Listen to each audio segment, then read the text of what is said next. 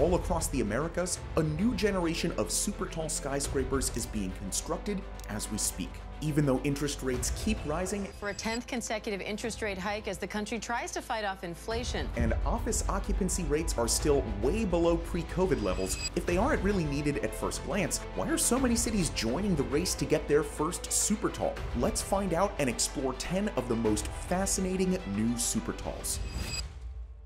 Starting off in Seattle, what could be the new tallest building in the Pacific Northwest is currently under construction. The 4C, or 4th and Columbia, goes back to September 2015, when developer Crescent Heights acquired a plot of family owned parking garages for $48 million. The stage was set for a groundbreaking 102 story super tall skyscraper, the first of its kind in the entire region. Designed by Seattle based LMN architects, the original plan turned out to be too bold even for a project of this scale. Compared to the other projects on our list, the 4C saw some intense redesigns, as the developers kept looking for the perfect combination. Initially, because the 4C could potentially cause disruptions to air traffic, its height was reduced to 100 stories in 2016, and then again to 93 stories at 314 meters. But this wasn't even its final form. Changing yet again in June 2020, the 4C was renamed the Seattle Tower, with an entirely new design proposed by ODA architects. It stood at 361 meters and featured a large cutout in the building, housing its very own Midway Park. This was designed as a shared space for residents and also as a lookout point for viewing nearby Mount Rainier, inspired by the need for fresh air during the pandemic. Unfortunately, these renders will be the only thing that remains of this stage of the project. By October 2022, the 4C changed architects and plans yet again. This time, Skidmore, Owings, and Merrill proposed a 91 story tower reaching 310 meters and it seems this design is finally here to stay. For the moment, this project has yet to start construction, and there's no due date for its completion. But hey, whenever it gets finished, the views will definitely be worth the wait. The Super Talls are also coming to Texas. Meet the Waterline, the current contender for the title of Austin's tallest building. Upon its completion in 2026, this skyscraper will climb to first place, but only by a fraction. It'll be a mere 6 meters taller. Developed by Lincoln Property Company and Kairoi Residential and designed by Kohn Pedersen Fox, this towering masterpiece is set to dominate the Texas skyline from its 311 meter tall throne. The waterline began construction in June of 2020 after years of rumors and leaked renderings. But the suspense was worth it. Its spectacular design features contemporary elements of steel and glass, while retaining its connection to nature with floor to ceiling windows, warm textures, and native stone, all in order to seamlessly blend in with its surroundings. The base of the tower is lifted 9 meters above the street and supported by sculptural columns, paying homage to some of Austin's unique tree species. Beyond steel and glass, the Waterline focuses on community. The developers have made a conscious effort to give back to the city with a pledge of a million dollars towards the Waterloo Greenway project. Being a part of this massive public park itself, the Waterline will therefore be surrounded by green open spaces, which not only benefit its residents, but also enhance the overall quality of life in Austin. Suitably named, the Waterline will offer fantastic views of the Colorado River from a top-out height of 311 meters. Currently, construction is still at the ground level, with the tower's core already rising from its spot near Waller Creek. Our next entry is also one of the most visually impressive projects on our list. Set to become the first super tall in the entire state of Florida, the Waldorf Astoria Miami was designed to look like a loosely stacked tower of offset building blocks, emphasizing its suspension and height. Nine in total, the cubes will hold 100 stories of hotel space.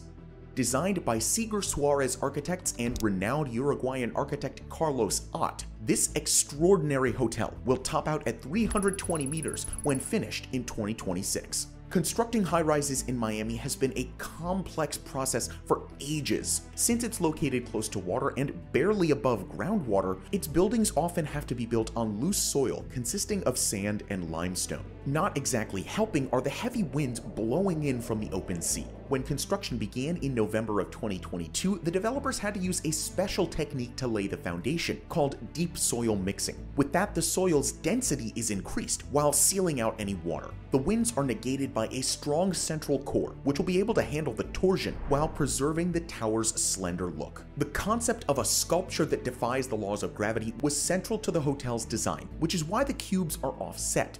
Well, that way each cube also conveniently offers unique views of Miami, but that's just a side effect, right? Their facades will be flat and wrapped in what's been described as glass skin, achieving a feeling of transcendence, according to the architects. This was also replicated in the interior, with gray and blue shades again hinting at the central idea of something otherworldly.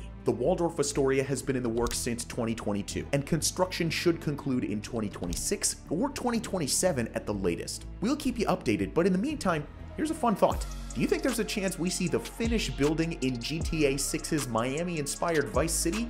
Just something to think about. I know I will. So before we talk about South America's new tallest skyscraper, let's take a look at the reasons behind their rise in construction. It's actually quite an interesting development. The real estate market for skyscrapers offering office space has yet to recover from the COVID 19 pandemic. Adding to that, interest rates have hiked by more than 5% between early 2022 and late 2023, only finally coming to a standstill right about now. That's led to real estate firms expecting lower returns on their projects and has made them hesitant to invest and subsequently continue building skyscrapers. But here's the catch top flight skyscrapers don't seem to be affected as badly. Reports by some real estate developers suggest that their most modern and luxurious skyscrapers still attract a high demand and sell out completely. So exactly the kind of high rises that we're talking about in this video. But there's more to it than an economic perspective.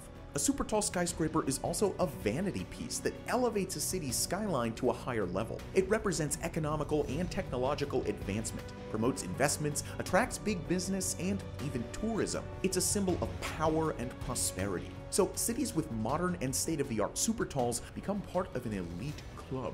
As such, we can expect that in the future, as cities prosper and grow, more and more super talls will grace their skylines. We see this put into practice in the next entry in our list the Torre Rise skyscraper situated in Monterrey, a city of increasing population and second in Mexico in terms of GDP. Both the social and economic factors for the creation of a super tall are there, so it's no coincidence that the Rise Tower will likely become the tallest building in Monterrey at a vertigo-inducing height of 475 meters. It will also be one of the tallest structures in the Americas in general if completed in 2026. Popular year for these projects, huh? With a stunning spire that touches the clouds, the Rise will offer unprecedented views of Monterrey from its top-level sky deck. Featuring an all-concrete body and uniform design, the Rise is equipped with virtually every single type of space and amenity. For the moment, details on the project are still only being released sparsely, but we'll follow it with great interest on this channel. To never miss out on our future developments, make sure to subscribe and enable notifications. Really helps us grow and keeps you informed. Not all super talls are built to fight overcrowding, however. For some corporations, having their own skyscraper in the right place is reason enough. And for JP Morgan, the right place is 270 Park Avenue, where construction on its new environmentally friendly Colossus continues to stun bypassers. The tower consists of several gradually rising elements that form a stepped construction, placed on a stilted base rising 24 meters above the ground. The base will house a public plaza and green spaces, as developers have pledged to improve life on the ground and pursue New York's green policies. To that end, they recycled, reused, or upcycled 90% of the waste from the now demolished Union Carbide building. The tower will be fully electric powered with zero carbon emissions, while futuristic tech will prioritize health through improved air quality, biophilic design, and circadian lighting fancy. And in a real leap into the future, intelligent technology and machine learning systems will be used to predict, respond, and adapt to the building's energy needs, saving it as needed. Advanced water storage and reuse systems will cut water usage by 40%. All of this has been planned with the tower's 14,000 inhabitants in mind, but also in pursuit of LEED certification, the world's most widely used green building rating system. In the latest development, the Supertall's framing was completed, with the final steel beam placed at a height of 381 meters. As a final step for completion in 2025, work is currently being carried out on the structure for the 41 meter crown of the building. And since we're already in New York's Park Avenue, let's move on down the street where Project Commodore is being designed by SOM Architects, located in close proximity to the Chrysler Building and the iconic Empire State Building. This super tall tower will stand at a height of 501 meters. The project has already received approval from the Landmarks Preservation Commission, with construction set to begin after the demolition of the Hyatt Grand Central New York. But like all great things, this building has also caused quite the public debate. The design has mostly been praised for its harmonization with the iconic Grand Terminal Station, but it's not without its critics. They argue that the Commodore will overshadow the station and disrupt the iconic skyline of Midtown Manhattan. And with these sizes, it's easy to see why. In a similar vein, there are also concerns about the potential loss of the area's historic character. On the other hand, those in favor argue that the proposed renovations to the Grand Central subway station will improve circulation and create new passageways for the public. Another positive addition is that its modern design will complement the surrounding architecture while providing much needed office space and amenities for the very busy downtown New York. It just seems that companies can't get enough of high quality real estate, and since the One Vanderbilt is already sold out, the Commodore is stepping in.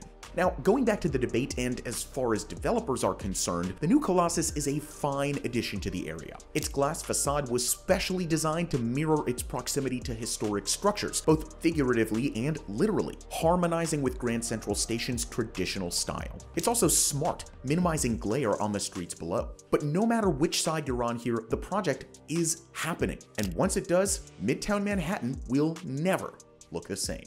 Our next entry rests on Canadian soil and is another recurring point of interest for us. However, the one skyscraper in Toronto is making very slow progress, as its developers are facing financial trouble. The tower recently reached a milestone, hitting its 41st story and officially and formally achieving skyscraper status at 148.55 meters but a year behind schedule. The one now stretches over halfway toward its eventual height of 328 meters. It'll introduce 647 residential units to the heart of Toronto, along with a hotel and various retail spaces but recent news has shown that the one may be in for some financial and legal trouble. The company behind the tower, Mizrahi Developments, has defaulted on multiple debts. It's also being sued by one of its major lenders, a Chinese state-owned enterprise, for allegedly failing to pay its dues on a $213 million loan. In 2022, Apple also sued the developer due to delays, as the tech giant was supposed to have a flagship store in the building. Later,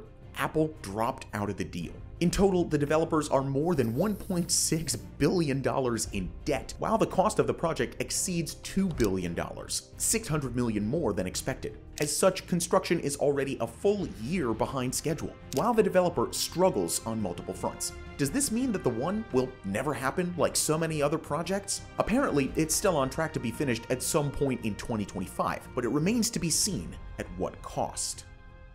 We stay in Toronto, where architects Hariri Pontarini are set to redefine the skyline with not one, but six or possibly seven towers. Called the Pinnacle One Yonge and located just north of the Toronto Harbour, they will become the largest towers in Canada, helping to revitalize the Toronto waterfront. While the initial 65-story Phase 1 condominium tower is already occupied by residents, the Phase 2 Sky Tower is currently under construction, aiming to address increased demand for housing in what is a growing city. The top of the hotel floors at Phase 2 have been completed, and work is underway on a transfer slab as developers prepare to build the condo levels above. Meanwhile, installation of the glass curtain wall began on the second story. The condos will be internally connected by walkways between glass atriums and gathering spaces, creating a unique sense of community for a building like this. Just last November, the Phase 2 skyscraper was granted an extension and is now set to beat the one by a height of 8 meters. And speaking of ensemble projects, there's just no way we can miss the Forma Towers in Toronto, masterminded by legendary architect Frank Gehry. The first of the two giants will be completed in 2028, followed later by the second, which has yet to begin construction. The Forma Towers will be the first super tall buildings designed by the architect and will feature two mixed-use skyscrapers located at Toronto's 266-284 King Street West. Apart from offering more living space downtown, they will also accomplish another task to further establish Toronto as a world-class city while attracting investors, tourists, and businesses.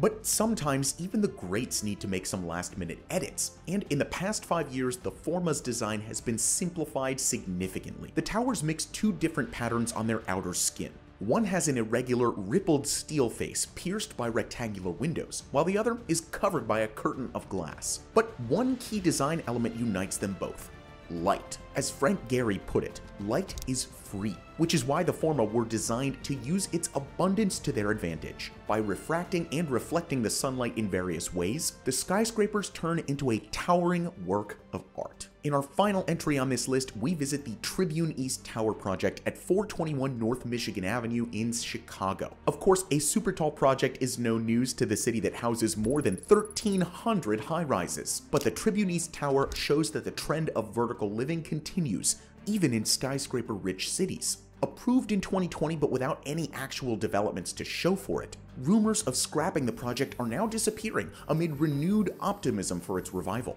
Soaring to a height of 433 meters, the structure of the Tribune East Tower will taper, featuring a glass curtain wall embellished with gold-colored vertical fins. This design ensures the preservation of panoramic views of the original Tribune Tower from the Ogden Slip, one of Chicago's canals. The tower will likely offer a hotel quarter and residential units, providing much needed space to the city.